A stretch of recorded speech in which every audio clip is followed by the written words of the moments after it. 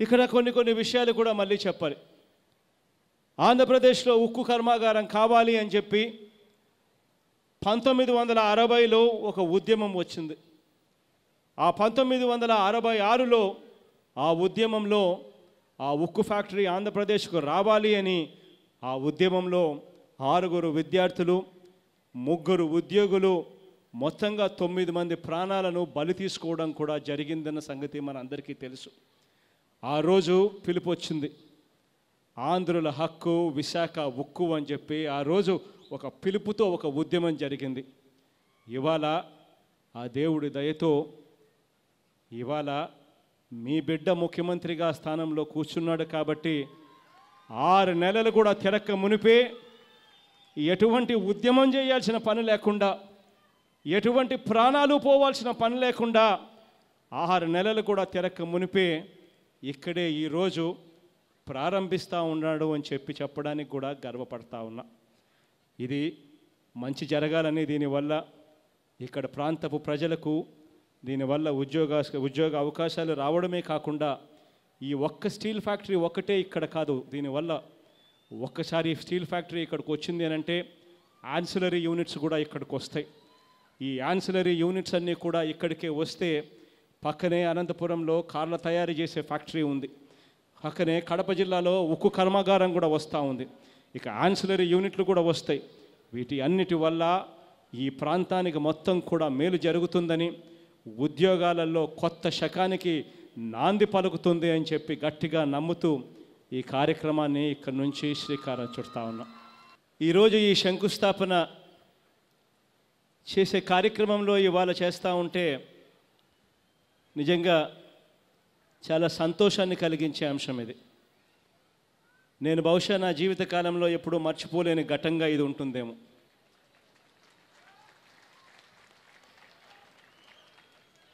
కారణం ఏంటంటే కడప జిల్లాలో ఒక సీల్ ఫ్యాక్టరీ రావాలని తద్వారా కడప ముఖ చిత్రం పారిశ్రామిక రంగంలో అభివృద్ధి బాటలో పరుగులు పెట్టాలని ఎన్నెన్నో సంవత్సరాలుగా కలలు కన్నాం. ఆ కలల్లో ఒక అడుగు కాస్తో కూస్తూ కాస్తో కూస్తూ ఒక అడుగు ముందుకు కదిలిన పరిస్థితి ఎక్కడైనా కనిపించింది అని అంటే అది ఆ దివంగత నేత మన అందరి ప్రియతమ నాయకుడు నాన్నగారు హయాంలో రాజశేఖర రెడ్డి గారి హయాంలోనే కాస్తో కూస్తూ ముందడుగులు పడ్డాయి. ఆ తర్వాత నాన్నగారు చనిపోవడం చనిపోయిన తర్వాత మళ్ళీ మన జిల్లా గురించి కానీ మన పిల్లల గురించి కానీ మన పిల్లలకు మంచి జరగాలి అన్న ఆలోచన చేసే వాళ్ళు కూడా ఎవ్వరూ కూడా కనీసం ఆలోచన చేయని పరిస్థితి కూడా ఈ రాష్ట్రంలో మనం అంతా కూడా చూసాం. అటువంటి పరిస్థితుల్లోనే ఎన్నికలకు ఆరు నెలల ముందు ఒక పెద్ద మనిషి వచ్చి టెంకాయ కొట్టాడు. ఒక్కసారి ఆలోచన చేయమని అడుగుతా ఉన్నా. ఐదు సంవత్సరాల పరిపాలన చేసేదానికి ప్రభు ప్రజలు అధికారాన్ని ఇస్తారు.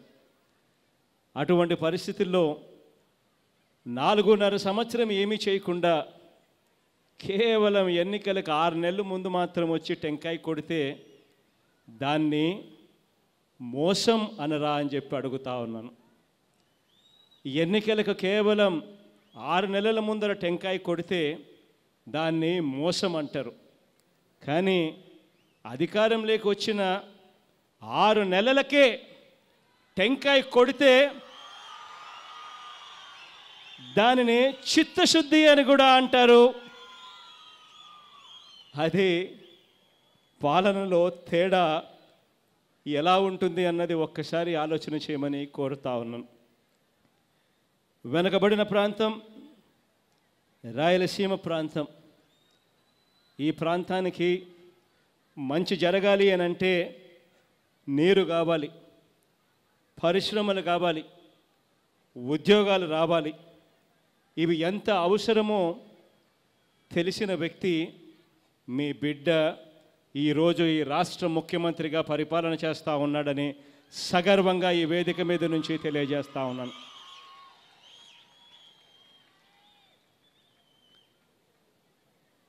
అందులో భాగంగానే ఈరోజు కడపలోనే రాయలసీమ ఆర్థిక చరిత్రను ఉద్యోగాల చరిత్రను మార్చడం కోసం ఇక్కడే ముప్పై లక్షల టన్నుల ఉక్కు కర్మాగారానికి ఇవాళ అక్షరాల శంకుస్థాపన కార్యక్రమం చేస్తూ ఉన్నామని సగర్వంగా ఈ వేదిక మీద నుంచి తెలియజేస్తూ ఉన్నాను.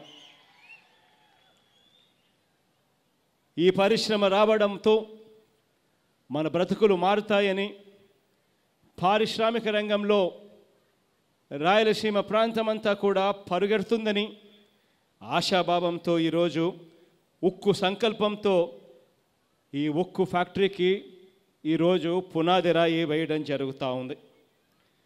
మూడేళ్ళ కాలంలోనే ఈ నిర్మాణం పూర్తి చేసి ఈ కర్మ కర్మాగారంతో ఇక్కడే అక్షరాల ప్రత్యక్షంగాను పరోక్షంగాను ఇరవై ఐదు వేల మందికి ఉద్యోగ అవకాశాలు వచ్చే పరిస్థితి క్రియేట్ అవుతుంది అని చెప్పి కూడా సగర్వంగా ఈ వేదిక మీద నుంచి తెలియజేస్తా ఉన్నాను. అక్షరాల ఇక్కడే పదహైదు వేల కోట్ల రూపాయలతో ఈ ఉక్కు ఫ్యాక్టరీకి ఈరోజు ఈ పునాది రాయి వేసే కార్యక్రమానికి శ్రీకారం చుడతా ఉన్నాం. ఈ పరిశ్రమ ఇక్కడికి రావడం కోసం ఎన్ఎండిసి సంస్థ నేషనల్ మినరల్ డెవలప్మెంట్ కార్పొరేషన్ సంస్థ వాళ్ళు ముందడుగులు వేసి కేంద్ర ప్రభుత్వ సంస్థ ముందడుగులు వేసి ముడి సరుకు సప్లై గురించి ఇనుపు ఖనిజము ముడి సరుకు సప్లై గురించి వాళ్ళు ముందడుగు వేసి మన ప్రభుత్వంతో ఒప్పందం కూడా చేశారు. ఈ ఏపీ హెచ్ఎస్ఎల్ ఆ ఏపీ హైగ్రేడ్ స్టీల్స్ లిమిటెడ్కు సంబంధించిన ఈ పరిశ్రమకు వాళ్ళు ముడి సరుకును సప్లై చేసేందుకు సిద్ధంగా సిద్ధపరు సిద్ధంగా ముందుకు సిద్ధమై ఎంఓయు సంతకం చేశారు. ఇందులో ఈ ముందడుగు చేసే దాంట్లో ఈ ముందడుగు వేసే దాంట్లో సానుకూలంగా స్పందించిన కేంద్ర ప్రభుత్వానికి మరి ముఖ్యంగా ధర్మేంద్ర ప్రధాన్ గారికి ఈ సందర్భంగా కృతజ్ఞతలు కూడా తెలియజేస్తూ ఉన్నాను. ఇవాళ ఇక్కడ నేను ఒకటే చెప్పదలుచుకున్నాను. ఒక పరిశ్రమ ఎందుకు ఇంత అవసరమో రాష్ట్రాన్ని విడగొట్టేటప్పుడే ఆ రోజే గ్రహించారు. వెనుకబడిన ప్రా వెనుకబడిన ప్రాంతం రాయలసీమ ప్రాంతం. ఇటువంటి ప్రాంతంలో ఉద్యోగాలు రావాలన్నా అడుగులు ముందుకు పడాలన్నా ఇక్కడ ఒక ఫ్యాక్టరీ రావాలని చెప్పి ఆ రోజు రాష్ట్రాన్ని విడగొట్టేటప్పుడు ఖచ్చితంగా ఇక్కడ స్టీల్ ఫ్యాక్టరీ కట్టిస్తాము అని చెప్పి మాట కూడా చెప్పి ఆ తర్వాతనే రాష్ట్రాన్ని విడగొట్టే కార్యక్రమం చేశారు. ప్రత్యేక హోదా ఇవ్వడంతో పాటు ఇది కూడా చేస్తామని కూడా చెప్పారు. అటువంటి పరిస్థితుల్లో రాష్ట్రం విడిపోయిన తర్వాత ఐదు సంవత్సరాల పాటు ఎదురు చూస్తూ ఉన్నాం. ఎదురు చూస్తూ ఉన్నా కూడా ఎక్కడా కూడా న్యాయం జరగని పరిస్థితి కనిపించింది. పట్టించుకోవాల్సిన పాలకులు పట్టించుకోని పరిస్థితి కనిపిస్తూ ఉన్నప్పుడు ఈరోజు మళ్ళీ ఆ దేవుడి దయతో మీ అందరి చల్లని దీవెనలతో ఈరోజు మళ్ళీ రాయలసీమ ప్రాంతానికి కడపకు న్యాయం జరిగే రోజులు మళ్ళీ వచ్చాయి అని చెప్పి ఇవాళ ఈ వేదిక మీద నుంచి నేను తెలియజేస్తా ఉన్నాను.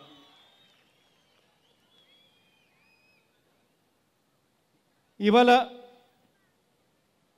దేశంలో కూడా ఉప్పు పరిస్థితి ఉక్కు పరిస్థితి ఎలా ఉంది అని చెప్పి ఒక్కసారి తిరిగి చూస్తే ఆశ్చర్యం కలిగించే విషయాలు కూడా పనికొస్తాయి. రెండు వేల పద్దెనిమిది నాటికి మన దేశంలో ఉక్కు పరిశ్రమ సామర్థ్యం ఎంత అని చూస్తే కోటి ఆరు లక్షల టన్నులు. మరి ఇదే national policy on steels steel మీద ఆ నేషనల్ పాలసీ చూస్తే రెండు వేల ముప్పై నాటికి మన దేశ అవసరాలు తీరాలంటే మన దేశంలో అక్షరాల మూడు కోట్ల టన్నుల సామర్థ్యం అవసరం అని చెప్పి అంచనా వేస్తున్నారు.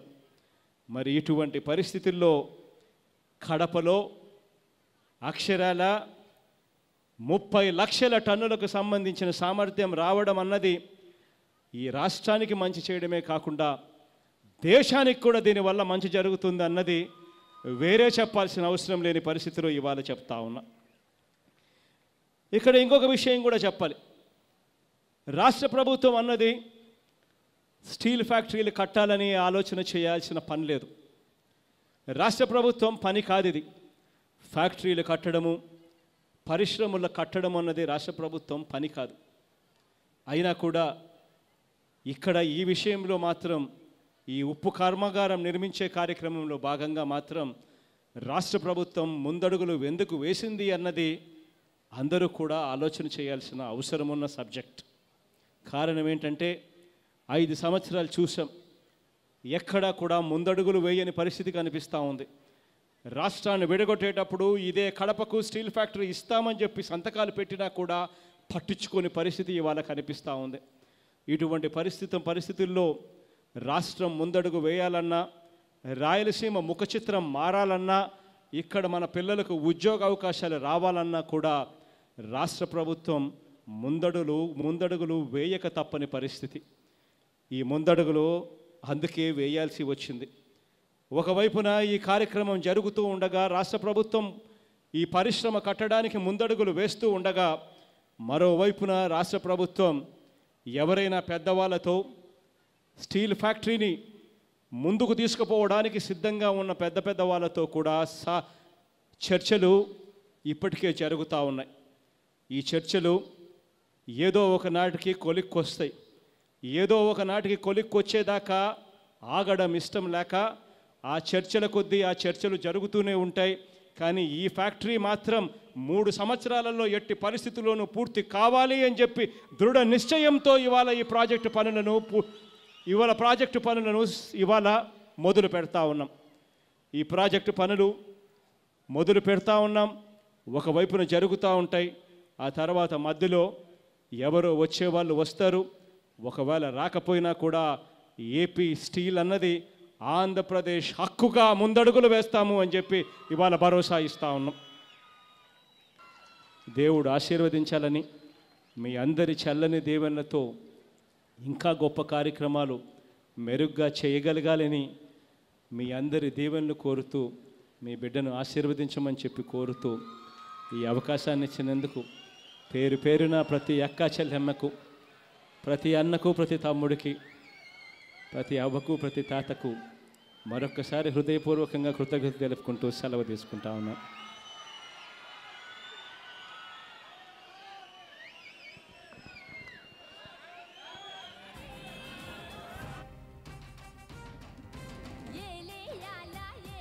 మైక్ గౌరవ ముఖ్యమంత్రి గారికి పరిశ్రమల శాఖ మంత్రి మేకపాటి గౌతమ్ రెడ్డి గారు జ్ఞాపికను అందజేస్తారు.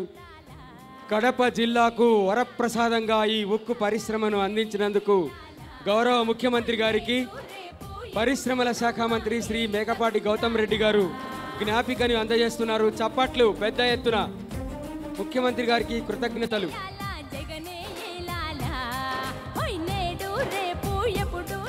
ఇద్దరు ఇద్దరు వేదిక వీధికి రావాలి. ఇద్దరు మాత్రమే. ఇప్పుడు వందన సమర్పణ సిఎండి గారు చేస్తారు. కడప స్టీల్ సిఎండి మధుసూదన్ గారు వందన సమర్పణ చేస్తారు. కడప ఉక్కు కర్మాగార శంకుస్థాపన మహోత్సవానికి వచ్చిన మహనీయులు ప్రజలందరికీ కూడా ముందుగా నమస్సుమాంజలి. ఈరోజు మనం ఎన్నో దశాబ్దాలుగా ఎదురు చూస్తున్న కడప స్టీల్ ప్లాంట్ మన ముందుకు వచ్చిందని చెప్పటంలో చాలా సంతోషంగా ఉంది. ఇది ఎలా సాధ్యమైంది అంటే మన ప్రియతమ ముఖ్యమంత్రి గారు ఉక్కు సంకల్పంతో ఈరోజు ఈ కార్యక్రమానికి శంకుస్థాపన చేయటం జరిగింది. Sir we express our heartfelt gratitude and thanks to you sir for making it possible today అదేవిధంగా మన రాష్ట్ర మంత్రివర్గ సభ్యులు మన ఉప ముఖ్యమంత్రి గారు అదే అంజాద్ బాషా గారు గౌతమ్ రెడ్డి గారు రామచంద్రారెడ్డి గారు సురేష్ గారు అదేవిధంగా కృష్ణదాస్ గారు మిగతా మన వెల్విషర్సు రాజ్యసభ లెజిస్లేటివ్ అసెంబ్లీ సభ్యులు మన లోకల్ ఎమ్మెల్యే గారు అందరూ కూడా అంటే విశిష్ట అతిథులు స్పెషల్ ఇన్వైటీస్ అందరూ కూడా ఈరోజు ఈ కార్యక్రమానికి వచ్చి ఈ కార్యక్రమం శోభ పెంచారు. వారందరికీ కూడా హృదయపూర్వకంగా అభినందనలు. వాళ్ళందరికీ కూడా ధన్యవాదాలు. అదేవిధంగా మిగతా మన గవర్నమెంట్ uh, అఫీషియల్స్ కానీ వారు కూడా ఈరోజు ఈ ఫంక్షన్ని బ్లెస్ చేశారు. వారందరికీ కూడా హృదయపూర్వకంగా నా ధన్యవాదాలు.